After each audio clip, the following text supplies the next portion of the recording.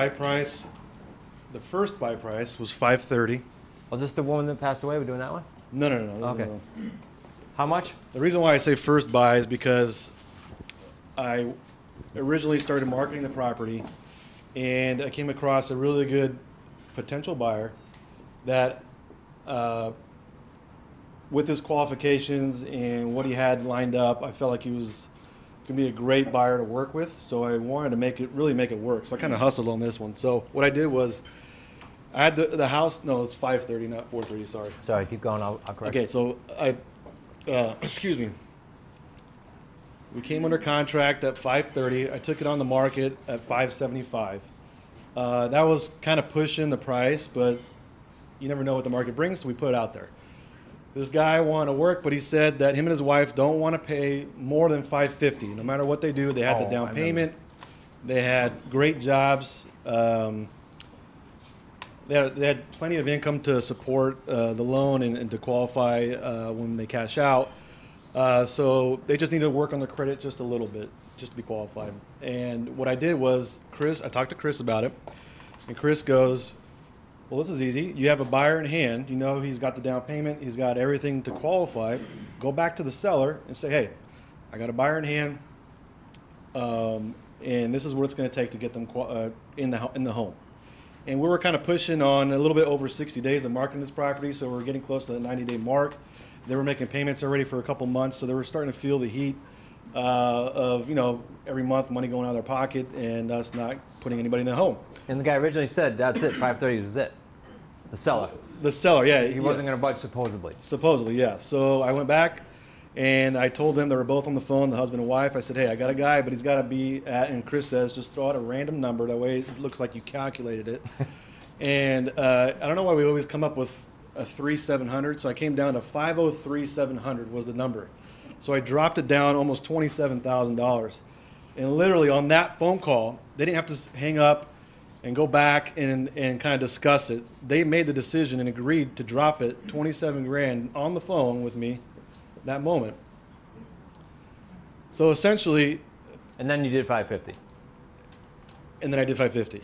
Yes, it was the sale price. So I dropped it to meet the buyer's request, and usually, you know, we don't do that, but I So wanted we- to get the house okay, sold. so clarify. You dropped this 25 and that 27. So I, still came up a couple grand Extra. from my original price extra. What was that? Yeah. Exactly. I came up more than what I had originally, and uh, the guy, both sides were happy because we got someone in the house within a couple weeks because it was already a vacant home, um, and we can go through the rest of the. Yeah, so is now. it different when Mike, if Mike was to say to him at the beginning, trying to get him down, like to Ed's scripts this morning, is it different than when he calls but says, I have a buyer, I can move now? It's totally different. Yeah. That just means though that that guy had it Well, in his Mike, head. Mike, Mike, Mike, Mike. No, I have a mic. Okay, go ahead. I'm attached to a mic. Go ahead. I was saying that just means that that guy had in his head. So just going to Ed's point, had in his head that probably 500,000 was his lowest. Yeah. You know what I mean? sure. Now that we figured that out, because Well, they, they originally had it on the market for, uh, well, they had it appraised in, in seven, 2017 for 530. So they're like, okay, if it appraises for 530 and 17, then I should get that. So I'm like, okay, let's see, let's take it to the market and see what we can get for you, Yeah. you know, and Good that's what we, what we did. Okay, summary. Sorry, uh, okay, payday one, they put 25 grand down. They are giving me, uh, they're gonna put down 10% uh, over a two-year period. So uh, they're putting additional 500 a month Oh, on top of their rent payment, 500 a month, going towards the down. And uh, payday two. Yeah. It's uh, $200. It's not much of a spread, but I made it work. And then um, okay, go ahead. What's the principal paid on the loan? it's 600 bucks. He has a good loan on the house. It's a it's a VA loan, so the interest rate was really low. Uh, How many? it's probably over that. But that's a. I'm sorry. Uh, uh, two years, 24 months. Okay, so what's the um, 550 Sorry, I didn't calculate the last part there. roughly? We'll go rough. 37,000 less the 25 so far before I go to the 500. Yeah, Or just it's like do a a, total? It's like a seventy thousand dollar deal, I think. Let's The see. whole thing? Yeah, it's uh, let's see, twenty seven and uh, You got 27 here, less the 25. So a couple grand plus this. This is 12 grand. No, no, no, that's forty seven. Yeah, like I said, like I said, 47. less than Oh, this 25. is terrific.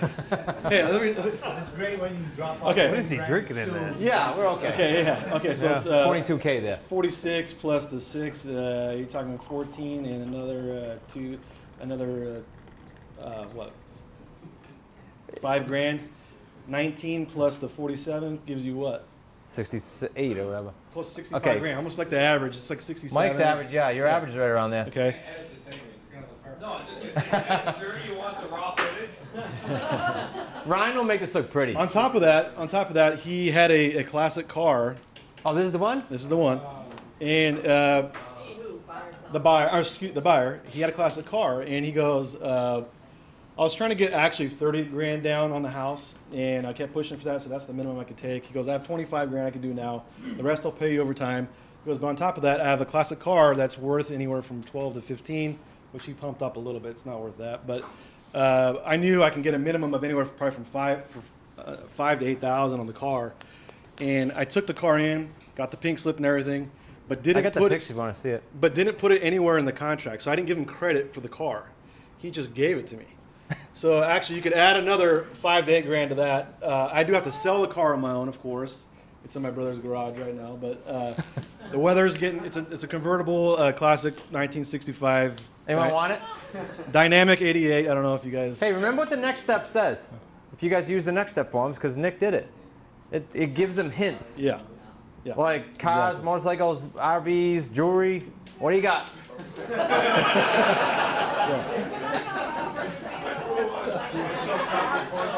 well, this thing's actually halfway decent. And Kim's like, Mike's coming up, ask him what we're doing that car. Why did we do that? I said, he did, I didn't do it. So of course I Oh, didn't turn it down. I took the, I took the car in because I'm like, why not? It should be easy to sell. If I, even if I wanted to dump it, I can Yeah, get a couple five. grand for it, five grand. So uh, yeah, so that's that's Which that's is your average real solid, 65-ish. Yes, for sure, sixty-five. Good deal, you guys? Okay, we need uh, the other mic, wherever it is. Mike? Do we have another one somewhere? We do. Yeah, right here. Over here. Let's try to go in order. Matney, then the back corner. Before I stay. Yeah. Because I don't know your answer. If it's, Okay.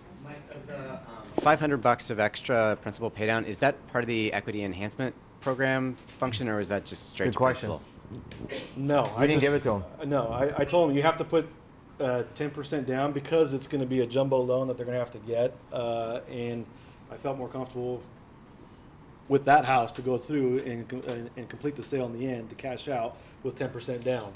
Uh, so I made it a point in the beginning when I first met with them saying, I'll take your initial deposit of twenty-five, but you have to understand that programs are out there right now require ten percent minimum. They said no problem. Over time, I could put that down. So, extra cash flow, 500 more bucks a month on top of the 200, On top of the two. on top of the 25. Uh, it's pretty nice for one deal. Well, this is important how he positioned it though, Matney, because he said to him, it was now, granted he likes the cash flow, but he said to him to get you in a better position to get your loan, which is probably going to take. It was all about him. You want to set them up to succeed, and you even tell them that. I'm, I want to set you up to succeed and uh, get you to the finish line. This is what it's going to take.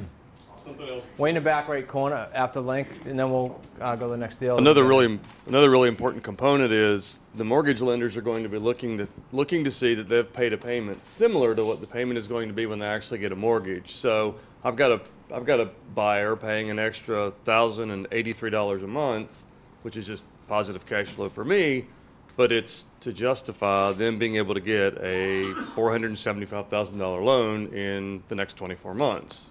So there's a, there's a really solid, legitimate reason that you are helping them help you. You Yeah. saw Jerry Maguire. Uh, way in the back right, and then we'll go to your. Uh, I think we'll go to one more yours, and then we'll go to scripts, and then come back. So what's, uh, I I didn't understand, what's the $500 a month? Extra down payment because Mike wanted them over time to get to 10%, and they were only at 25, which is five-ish. They're, Okay. they're actually also putting more into another account, and they're showing me the receipt every month, even though I'm not receiving it. To on save top more? Of that, that way, in the end of their term, actually we calculate it to end before the 24 months, uh, they have the full 10%. And uh, what what was the mortgage payment? and uh, what's the rent? The I How did charged you them get to this? 29.95 was the mortgage, or excuse me, that's their payment, monthly rent payment, and uh, it's 200 bucks less my payment, 27 something. It's about 200 bucks. Okay, so my question here is when, um, let's say, let's say the seller uh, mortgage payment is thousand dollars, right?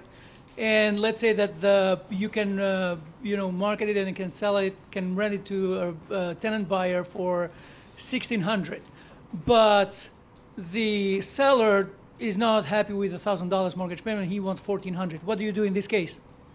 There's a couple of options. What I would do if he's adamant about it and you really like the house, take the 200 or meet in the middle somewhere, but have him give you the credit on what he's making on that month on the back end. Principal. That's what I would do. I don't know. We That's one about- way. That's That- one way. I don't know. I, I, I don't think there's we've ever done it. I think that's part of their posturing. That's why I wanted your opinion, but I think it's posturing. Yeah, I mean, I just don't want to take over any, you know, responsibilities of the property, uh, and I'm going to make your your PITI because if anything were to happen, I have to take over responsibility and make all those payments to take care of the property. Um, but it, it's going to depend on the back end as well, right? So if it makes, if you're going to get like a ton of principal pay down and you get you're able to mark this property up a lot, so it's worth you staying the deal, then maybe you have that conversation. But I definitely would want anything I'm giving to them extra credited. Because remember too, you got to protect yourself. You got a buyer that defaults. You're now liable for that for that seller for fourteen hundred dollars. It's not a thousand. Right. You're liable now for that fourteen hundred dollars every month if the house is vacant. So protect yourself by just taking over the full expenses. That's all we take over.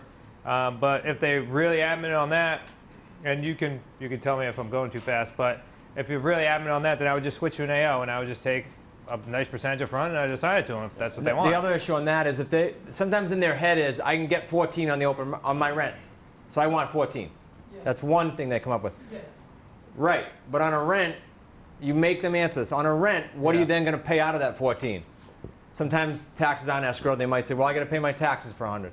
Um, well, you also have to cover maintenance, right? If they call you and the toilet's clogged or the roof or leaks, property manager, which is going to be $200 ten gets sucked up real quick. Yeah. If they have a problem with that house for maintenance, so you just point that out and say, "I'm taking all that risk away from you," and usually don't have an issue. We never have an issue that I can think of.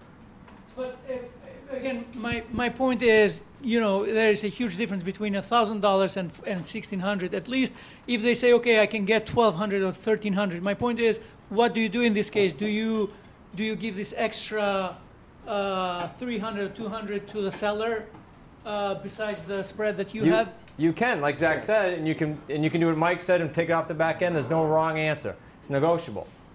I'm telling you, from your once you get good at posturing and scripts, you'll No. keep all that money. You Soon won't as- give that back. Yeah, as soon but as it's okay somebody if you do it the first. At the starts telling me they want a spread uh, or addition to their expenses, I automatically start thinking AO unless the terms No, as far wrong as way. the back end are worth me staying in the middle because you're taking on extra liability. So you better get paid off better on the back end. If not, we always look at it as either we're fully in, we're taking responsibility, or we're out. And we just take a non-refundable deposit and we and we scoot and move on to the next deal. So you usually cover only the uh, mortgage payment. yes. PITI. Yeah, yeah. Plus, of course, maintenance and repairs and all that stuff. Anyways, You- you're taking over the property fully. I think one important thing maybe Mike. not- I think one important thing maybe he's not thinking of is that the seller doesn't need to know the sixteen hundred that you're gonna Correct. get I meant to unless, say that too. Good unless you're point. setting it up as an AO. Yep. Uh, he doesn't know that number. so- Yeah, it's, that's a great point. Yeah, we never, I, I never uh, tell them how much I'm going to put on the market for on the monthly rent price or lease price. I just tell them I'm going to cover their payment. Yeah, because Mike's the buyer, right? He hasn't introduced a third party other than the fact that he might say, well, yeah, that's how I get paid is I work with a third party. But in the, he's the buyer. He's the one taking over everything. There's no need to tell them how much you can get on the open market unless you're going to an AO. Yes, but they know that they, the rental uh, uh, market for the area is 1600 Know that. They okay, know so I'm back to my thing with yes, you might be right. The rental market's 1600 but this isn't a rental. I'm buying your house. So again, script. They're going to say it. You're right, is how you get out of it.